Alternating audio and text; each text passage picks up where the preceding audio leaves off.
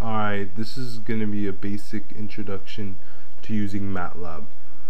MATLAB is a matrix programmer, like it's a mathematical matrix programmer. It deals with matrices. It's very powerful in engineering. Like you can use it for applications in signals, electromagnetics. Um, you can use it for a lot of different applications in mathematics. Um, so I'm basically just going to show you some features, some basic features and what you could do specifically.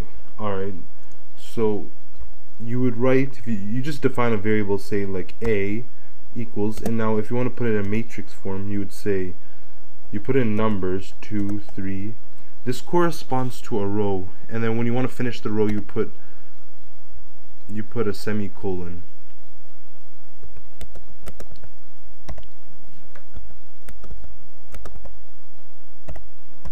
when I write it like that, it's going to be a 3 by 3 matrix, and when you press enter, it'll print it out like that. So far, it's easy. Now, you could declare another matrix like this. You say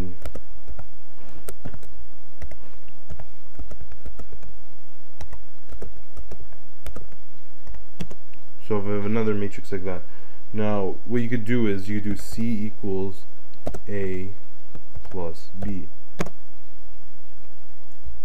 you could do something like that. Or you could say D equals A times B. You'll get up this.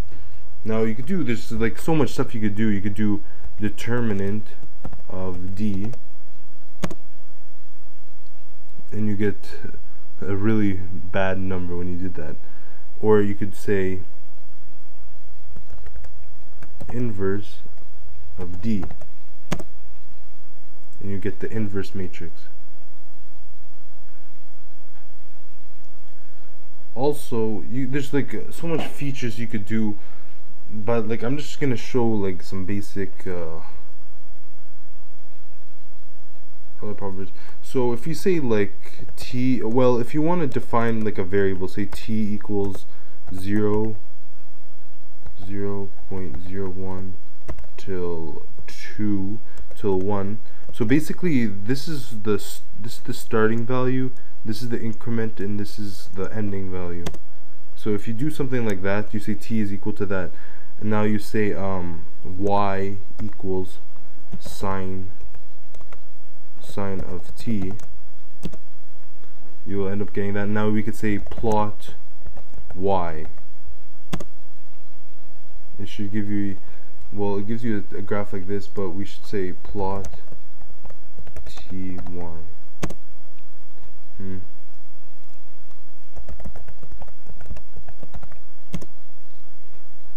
It should be the scaling, but we plotted a sine graph.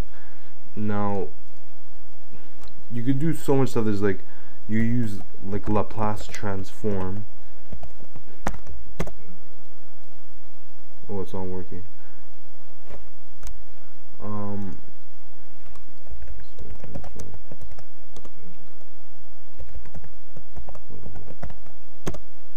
you do fast Fourier transform. Laplace transform is not working but you could do fast Fourier transform which will give you the it takes the results from the time domain and puts it in the frequency domain. So you could plot y. Wait if we do z equals fast Fourier transform of y. If you do a semicolon here it won't print out the values. It just gives you it puts the thing in. So if we do the fast Fourier transform of y and then we go plot Z, we'll get the frequency spectrum. And this is the frequency spectrum of Y. It doesn't look that nice.